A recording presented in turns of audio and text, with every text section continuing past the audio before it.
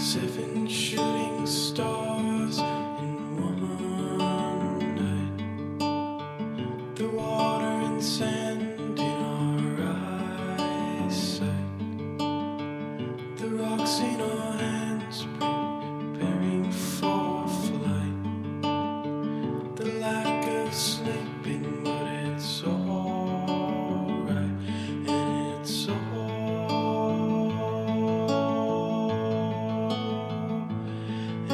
It's